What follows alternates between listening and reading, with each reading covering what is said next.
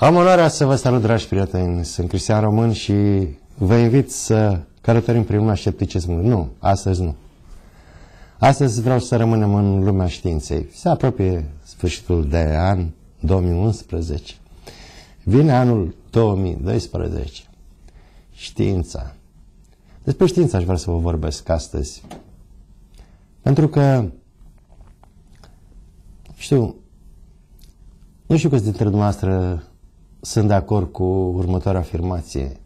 Știința e poezia realității. Știința este o formă de artă, cumva, prin alte mijloace. Încercăm să dezvăluim realitatea. Realitatea e frumoasă.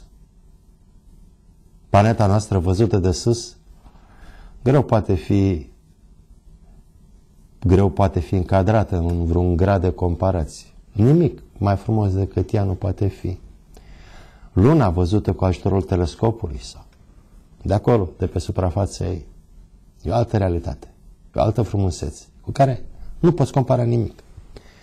Știința ne dezvăluie, ne înlătură din fața ochilor, din fața rațiunii, tot felul de perdele, în spatele cărora găsim lucruri minunate, găsim lucruri extraordinare.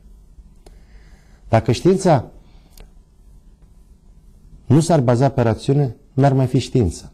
Știu, arta nu se bazează pe rațiune. Dar asta este, din punctul meu de vedere, extraordinar și fascinant. Deși știința este o creație a părții raționale a creierului nostru, dezvăluie lucruri minunate. Ne dezvăluie lucruri fantastice de-a drept. Gândiți-vă la lumea mecanicii cuantice, în care logica asta cu care suntem noi obișnuiți dispare. Un lucru poate exista sau nu poate exista. Parcă nu e cale de mijloc. Nu așa în lumea asta reală. Dar acolo, în mecanica cuantică, lucrurile pot exista și nu exista în același timp. E o lume fantastică, fascinantă îmi permit să fac un mic comentariu. Zona aceasta mecanicii cuantice atât de fascinantă încât uh, chiar cei care habar n-au cu ce se mănâncă mecanica cuantică găsesc tot soiul de interpretări, care mai de care mai fanteziste, care mai de care mai ezoterice. Adesea este adusă mecanica cuantică ca dovadă pentru tot soiul de afirmații năzbătioase. Așa este în lumea pseudoștiinței. Dar în lumea științei lucrurile sunt, uh, așa cum v-am spus, și nu aș vrea să mă apuc să vă demonstrez acum, sunt de-a dreptul fascinante. A fost un drum greu până aici, un drum greu de parcurs de către știință, de către gândirea rațională. Mulți spun că știința datează din vechime, din eu știu, din străfondurile apariției omului pe această planetă. Nu, știința așa cum o înțelegem noi astăzi, sau metoda științifică, așa cum o înțelegem noi astăzi, și cred că e mai bine spus, metoda științifică, așa cum o înțelegem noi astăzi, a apărut relativ târziu. Aș îndrăzni să identific ca personaj al științei legat de metoda științifică pe Galileo Galilei. Din punctul meu de vedere, el este cel care întemeiază metoda științifică. Metoda aceea care se bazează pe dovezi, emit o ipoteză, eventual chiar o matematizez, o pun în calcule matematice. Asta a făcut Galilei, a stabilit o legătură între matematică și mai bine zis, a descoperit capacitatea matematicii de a descrie lumea fizică, fenomene mai subtile. Uh, matematica în prima ei apariție pe această, în zona civilizată, în, pe planeta asta, să zicem, în civilizația umană, avea aplicații practice.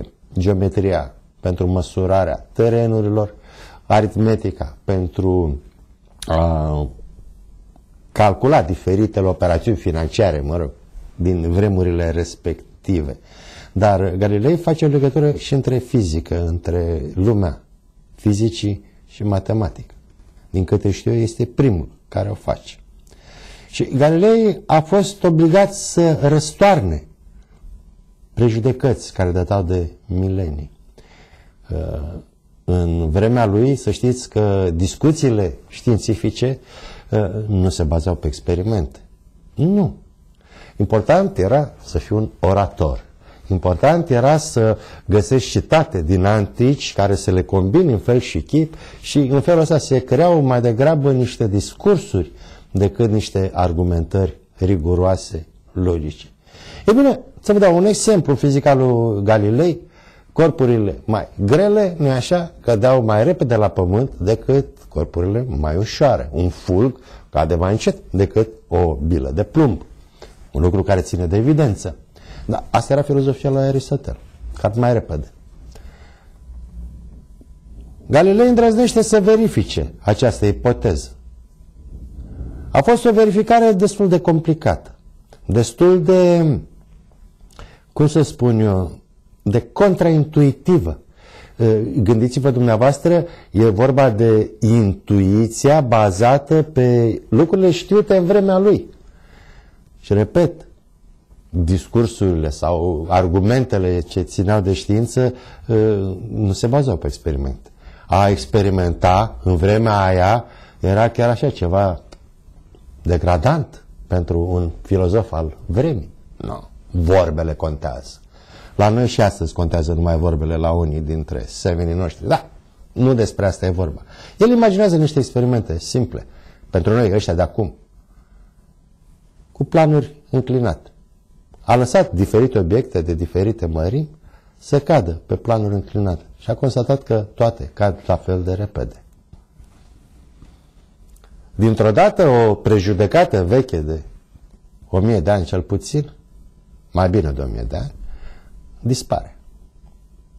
Pentru că el a știut să treacă de această barieră. El înființează metoda științifică. Să nu, repet, să nu credeți că e o treabă ușoară. Ba, i-a fost foarte greu. A avut de luptat uh, când uh, cum să spun, descoperirile lui ajungeau să vină în contradicție cu dogma bisericească, știți, avă de bătălit. Abia în urmă cu, nu mai știu, vreo două sau trei decenii uh, a fost reabilitat de către Vatican, prietenul Galilei. Da, totdeauna să nu credeți, nici în zilele noastre științei nu este foarte ușor atunci când trebuie să găsească dovezi. Și acum există prejudecăți. Dar între timp am învățat un lucru extrem de important. Orice aș crede eu, orice, cum să zic, teorie bine stabilită ar exista în momentul de față, ea poate fi oricând dată la o parte, doborâtă, contrazisă. Și e foarte simplu, pe baza dovezilor corespunzătoare. Nu e nicio problemă. Și mai este un personaj important în zona științei, în zona științei de începuturi. Acesta este Kepler. Am scris la un moment dat un mic text despre el pentru că el, astrologul Kepler, chiar m-a impresionat. Și a câștigat mai mulți bani din astrologie decât din astronomie. De fapt, din astronomie n-a prea câștigat nimic. El era adeptul teoriei lui Copernic. Nu, cum să zic. Asta, acesta a fost, să zic, cumva punctul de plecare. Și elaborase o teorie heliocentrică extrem de interesantă, extrem de sofisticată, dar care se baza pe niște prejudecăți, pe teoria corpurilor perfecte. Trebuiau distanțele dintre Pământ și Soare să se afle în anumite rapoarte care corespund cu corpurile perfecte. Putea să vin cu o figură. Nu, n-am vrut. Vreau doar să vă vorbesc în această seară.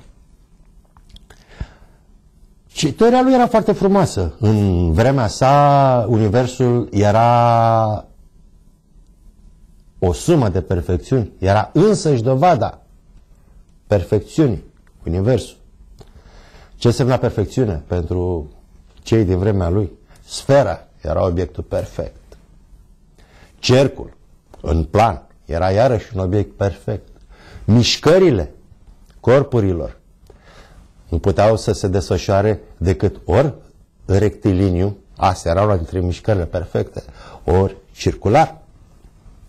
Nu puteau altfel. Pentru că asta era perfecțiunea. Credeau anticii într-o perfecțiune. Eu, în continuare, cred și cred că și dumneavoastră sunteți de acord cu mine, asistăm. Universul e perfect. E frumos în perfecțiunea sa. Nu ne putem imagina o alta. Dar, revenind la Kepler, putea să rămână aici, putea să rămână la vorbe, putea să, cum să vă zic, să creeze o întreagă poezie pe baza, cum să zic eu, armoniei sistemului nostru solar. Dar n-a făcut așa. Nu. El a vrut să demonstreze că așa e, cum zice el. S-a folosit de observațiile altui mare astronom, Tycho Brahe. Vedeți, deja lumea începea să măsoare lucrurile. Uh, iarăși fac o paranteză. Până la ei să știți că uh, tabelele lui Ptolemeu, care erau vechi de mai bine de 1000 de ani, erau litere de lege. Nimeni nu n-a mai stat să mai măsoare încă o dată cum se mișcă stelele pe cer. N-au mai avut. Păi, nu l-a măsurat odată? De ce ar mai trebui? Ei, Tycho Brahe, care avea și el o teorie a, legată de univers, de sistemul solar, nu a vrut să măsoare. Pe baza observațiilor lui Tycho Brahe, care construise niște instrumente uh, spectaculoase, el, Tycho Brahe, Brahe, e chiar un personaj el însuși, un personaj care și-a pierdut nasul într-un duel. Mă rog, e altă poveste. Bun, și a obținut el niște măsurători legate de mișcarea planetei Marte. Printre altele. Kepler s-a rugat mult de Tycho Brahe să-i dea tabelele, măsurătorile pe care le-a obținut. Mă rog, și aici este iarăși o altă poveste, cu greu l-a obținut și s-a apucat omul să pună pe hârtie. A folosit o metodă extrem de ingenioasă pentru a uh, calcula și a desena traiectoria planetei Marte. Vă readuc aminte, el căuta perfecțiunea, căuta să demonstreze perfecțiunea Universului, perfecțiunea sistemului solar, care impunea ca traiectoria planetei Marte în jurul Soarelui să fie un cerc, iar mișcarea să fie uniformă. Ce constată el? Ceva care cred că l-a copleșit în acea seară. Îmi imaginez așa cu o lumânare aprinsă alături. Au zis că orbita nu este circulară. Și are mai degrabă forma unui oval. Nu i-a venit să-i creadă ochilor. Vă dați seama, o concepție întreagă, o structură mentală întreagă creată în el, era contrazisă de măsurători. A mai făcut și el câteva măsurători din câte știu eu, tot legate de planeta Marte, le-a pus și pe acelea pe hârtie și ce să vezi? Tot ovală rămânea traiectoria planetei Marte, mai bine zis, orbita planetei Marte. Dar a și vrut să fiu alături de el în acele momente. Nu uitați, el era astrolog, el era adeptul unei întregi filozofii care impunea anumite canoane de perfecțiune pentru univers. Canoane, repet, pe cale, să zicem, logică, pe cale, cale argumentativă, nu pe dovezi. Dar canoane care se uh, făceau parte din structura mentală a omului din evul mediu. Ei bine, Kepler ce face? Atunci când dovezile vin și contrazic părerea lui, ipoteza lui despre univers, atunci el dă crezare dovezilor. Acesta este omul de știință. Putem avea um, orice, cum să spun, orice teorie doriți. Eu știu, suntem adepți nu știu care teorii, care este bine acceptată de către toți oamenii de știință de pe această planetă. Dar atunci când apare o dovadă contrară, atunci fundamentul sau întreaga teorie uh, la care ne-am putea gândi se cam zrâncină. Omul de știință este un sceptic.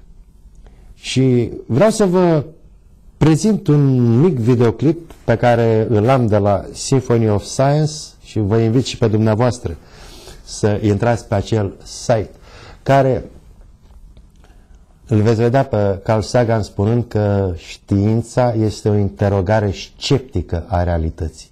Ne punem în permanență întrebări legate de lume și răspunsurile noastre le găsim folosindu-ne de scepticism, folosindu-ne de, așa cum spunea Descartes, de îndoială. Îndoiala este metoda științei.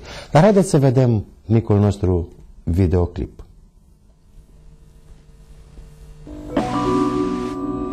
When you are studying any matter or considering any philosophy, ask yourself only what are the facts and what is the truth that the facts bear out. Science is more than a body of knowledge. It's a way of thinking, a way of skeptically interrogating the universe.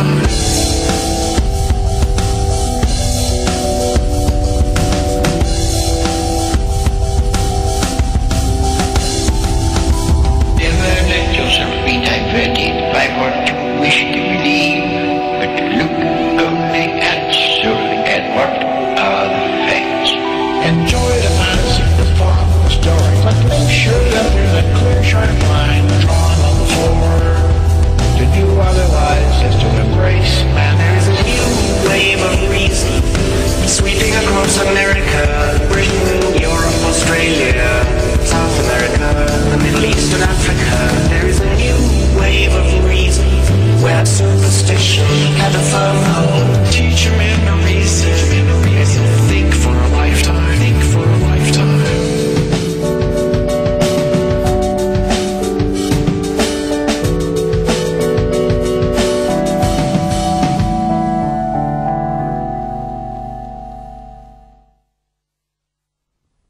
Da, asta este știința. Și, cum spunea Carl Sagan, nu este numai o sumă de cunoștințe, o sumă de fapte pe care le-am adunat de-a lungul timpului, ci este și un mod de gândire. Un mod de gândire care este echivalent cu progresul, este motorul progresului.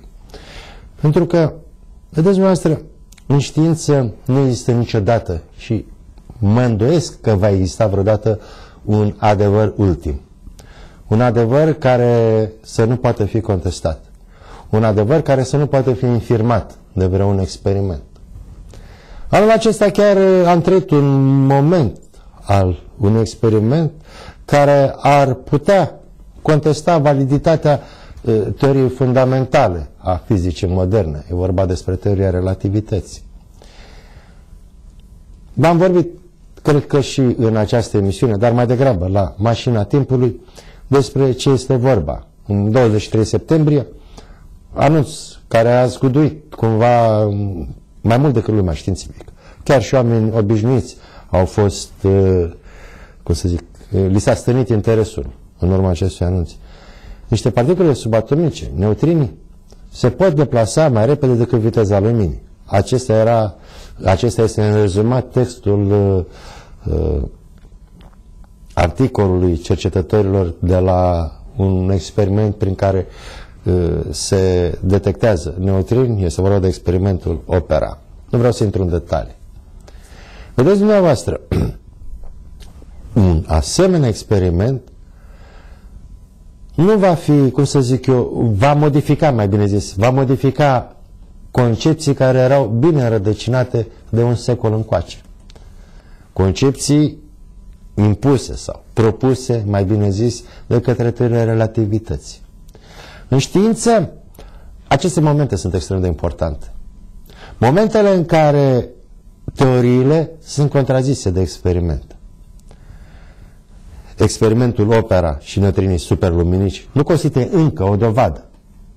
Trebuie să vă precizez acest lucru. Nu. Este nevoie de verificări suplimentare.